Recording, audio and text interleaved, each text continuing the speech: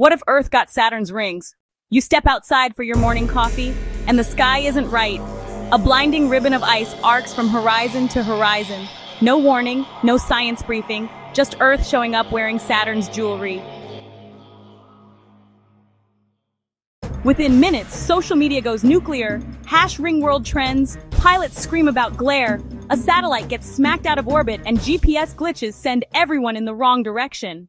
It's beautiful, but brutal. Those sparkling arcs bounce extra sunlight onto the equator while freezing out a 12 degree shadow belt. Crops fail.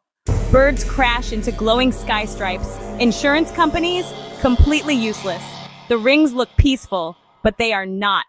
Rockets scramble to adapt. Kids grow up under a night light sky. And as fragments start raining down like cosmic bullets, death by ice shard becomes a real statistic. Geologists shrug, this has happened before. But for us, it's not a footnote, it's a planetary reboot. If Earth did grow rings overnight, what would you be most excited or terrified to see? Hit subscribe for more impossible questions with very real consequences. The next one might shake your orbit. Up next, what if Earth lost the moon? You'll never look at tides the same way again.